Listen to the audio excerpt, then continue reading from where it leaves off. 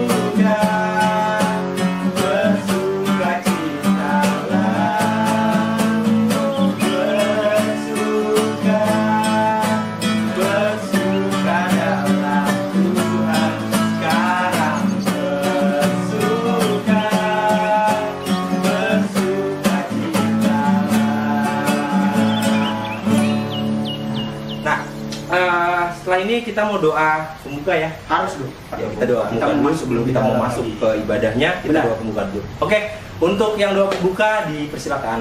Silakan.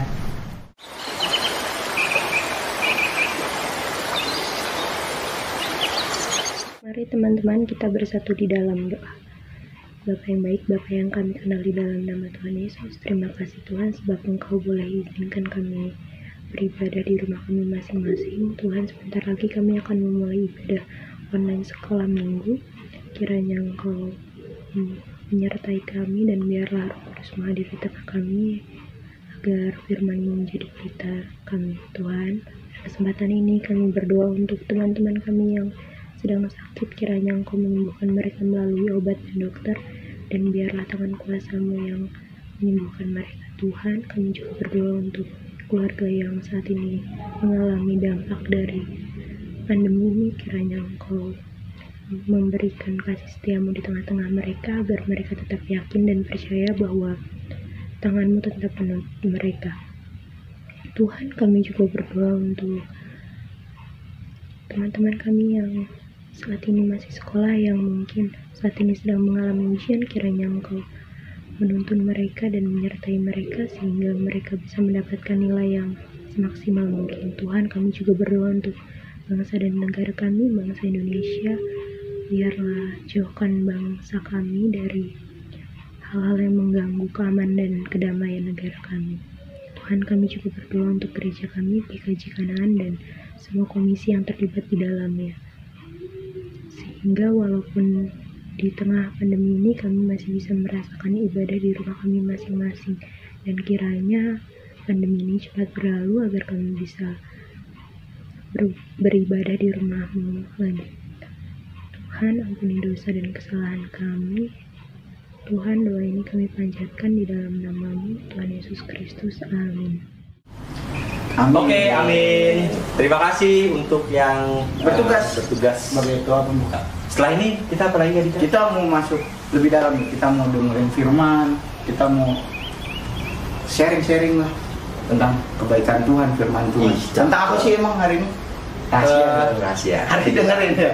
Hari dengerin kayak aja dikasih tahu ya. Nah, Oke, juga. hari ini yang kebawain firman itu pasti kalian kenal. Pasti siapa sih yang kenal Katia? Katiara.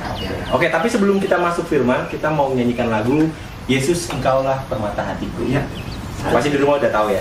Pasti dong. Oke, kita mulai Kak Alvin.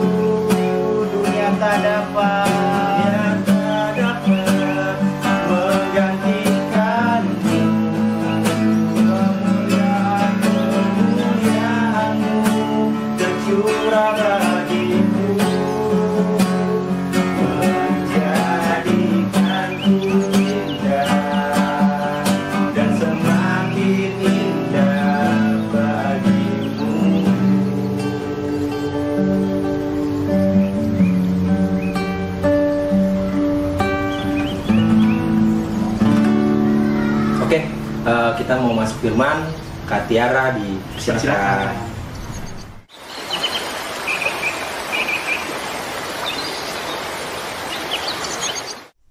Shalom teman-teman kelas Zebaot Apa kabar hari ini? Pasti baik-baik semua kan? Ya, kita sebelum hari ini mau mendengarkan akan firman Tuhan Kita siapin Alkitabnya yuk Udah pada siapin Alkitab belum?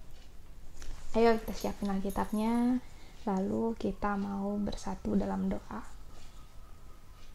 Mari kita bersatu dalam doa Tuhan Yesus yang baik, selamat pagi. Terima kasih Tuhan untuk penyertaan-Mu di dalam kehidupan kami. Saat ini kami anak-anak-Mu ingin belajar akan firman-Mu. Kiranya Engkau yang berikan roh kudus-Mu untuk mengajarkan kami agar kami mengerti apa maumu dan apa yang menjadi kehendak-Mu di dalam hidup kami. Terima kasih Tuhan, dalam nama Tuhan Yesus kami telah berdoa. Amin. Ya, hari ini kita mau belajar tentang hidup rukun. Kita mau buka bersama-sama yuk. Mazmur 133 ayat 1 sampai 3. Sudah dibuka semua?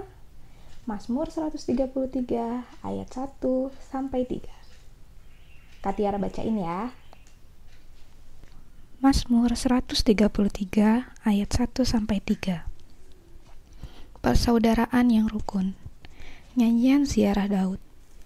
Sungguh alangkah baiknya dan indahnya apabila saudara-saudara diam bersama dengan rukun. Seperti minyak yang baik di atas kepala meleleh ke janggut, yang meleleh ke janggut Harun dan ke leher jubahnya seperti embun gunung Hermon yang turun ke atas gunung-gunung Sion.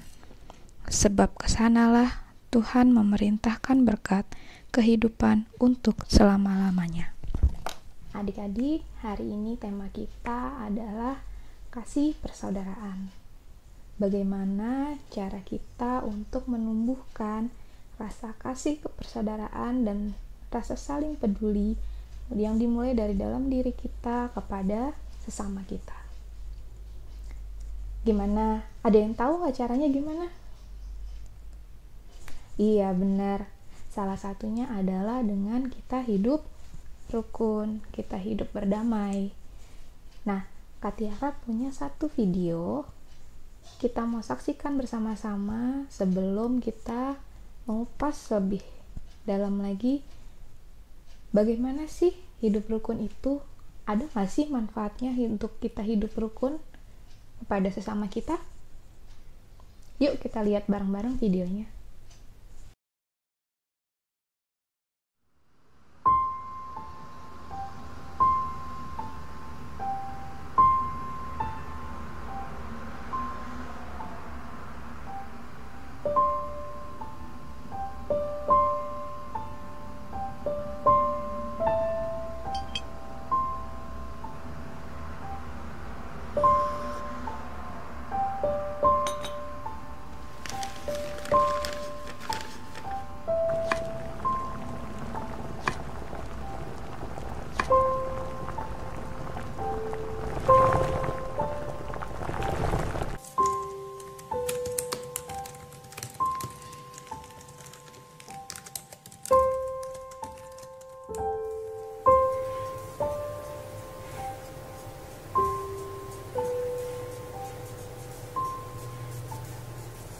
Davina, makan.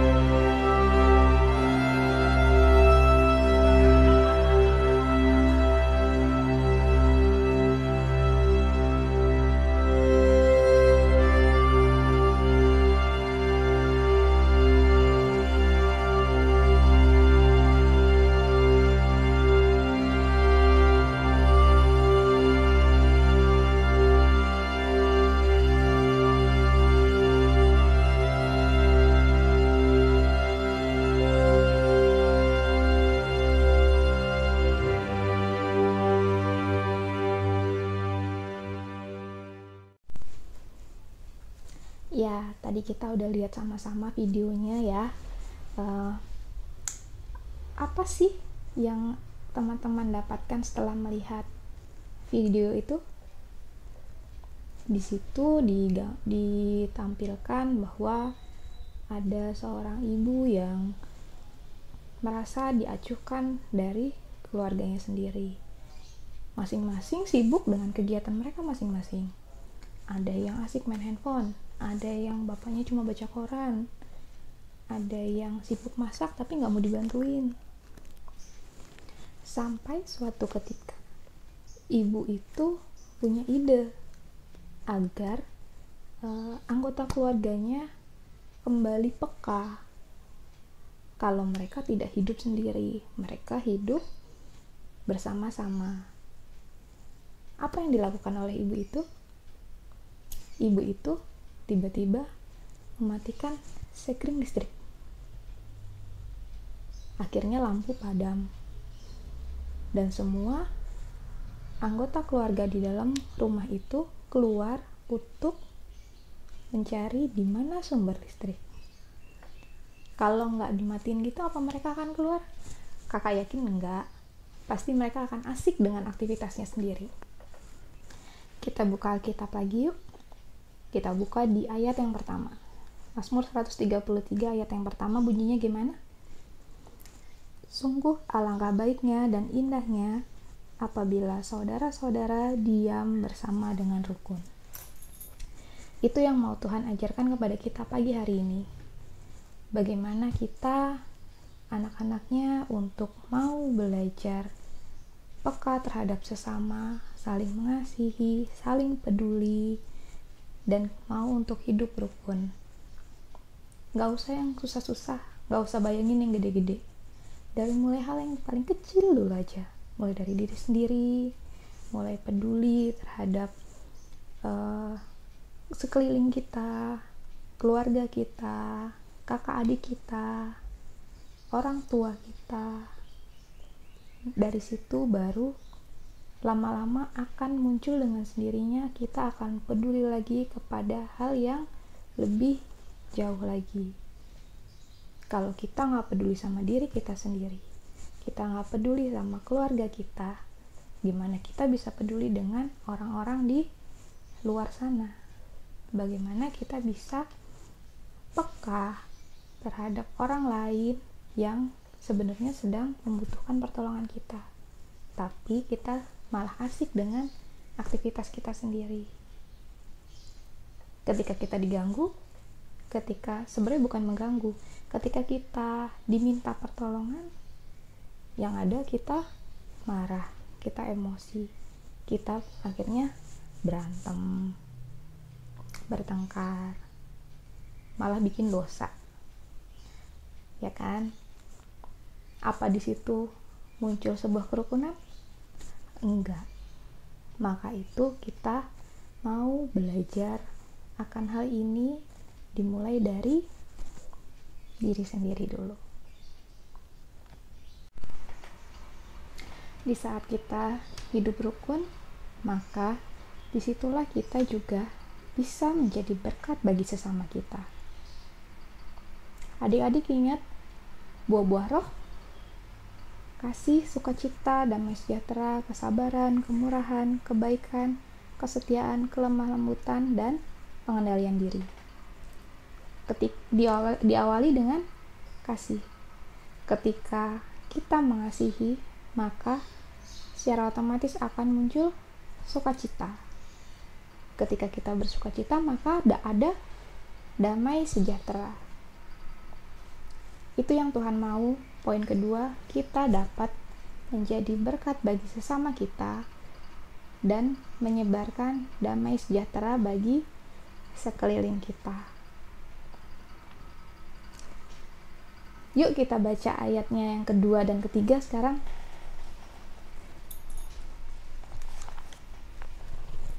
Seperti minyak yang baik di atas kepala meleleh ke janggut, yang meleleh ke janggut Harun dan ke leher jubahnya, seperti embun gunung Hermon yang turun ke atas gunung-gunung Sion, sebab di sanalah Tuhan memerintahkan berkat kehidupan untuk selama-lamanya. Tuhan punya berkat buat kita semua bagi anak-anaknya yang mau setia sama Tuhan. Caranya gimana? Kita mau untuk hidup rukun.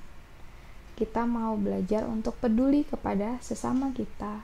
Kita mau uh, lebih peka lagi melihat sekeliling kita.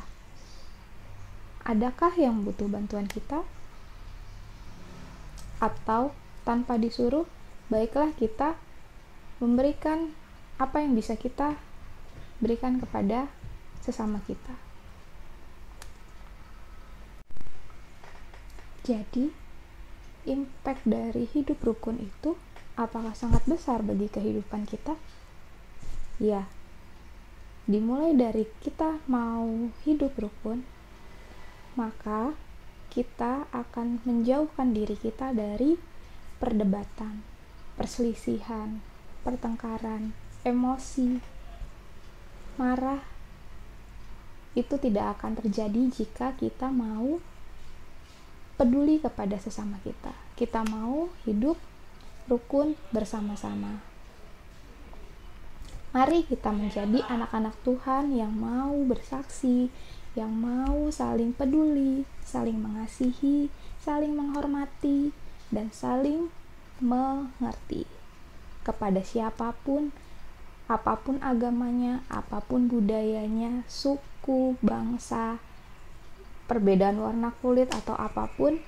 Mari kita saling hidup rukun agar bisa menjadi berkat bagi sesama kita. Sekian sharing dari Katiara.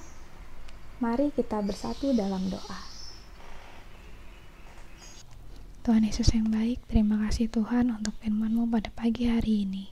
Kami boleh diajarkan untuk kami boleh menjadi pribadi yang mau peduli terhadap sesama kami, mengasihi dan saling menghormati, sehingga kami boleh hidup rukun baik di dalam bersama diri kami, keluarga kami, sesama kami, bahkan dalam kehidupan beragama dan bernegara.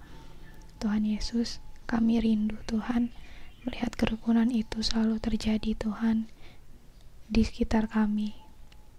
Kiranya Bapa damai sejahtera Tuhan turun atas kami semua sehingga kami dapat menjadi anak-anakmu yang dapat memancarkan berkat bagi sekeliling kami. Terima kasih Tuhan. Dan saat ini kami mau menyerahkan sepanjang hari ini ke dalam tanganmu. Kau yang memberkati lebih dan lebih lagi Tuhan. Dalam nama Tuhan Yesus kami telah berdoa dan mengucap syukur. Haleluya. Amin.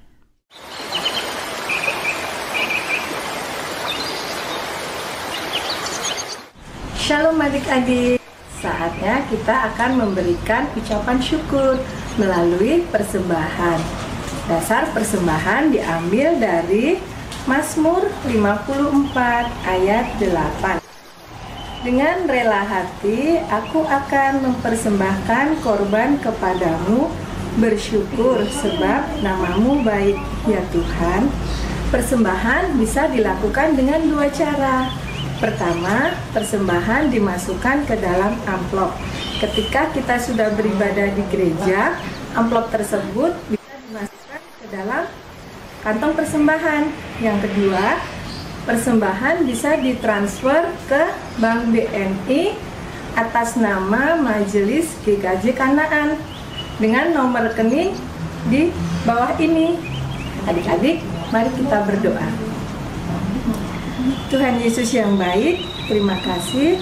Saat ini kami sudah mengumpulkan persembahan yang berasal daripadamu. Tuhan, saat ini kami masih beribadah online Tuhan.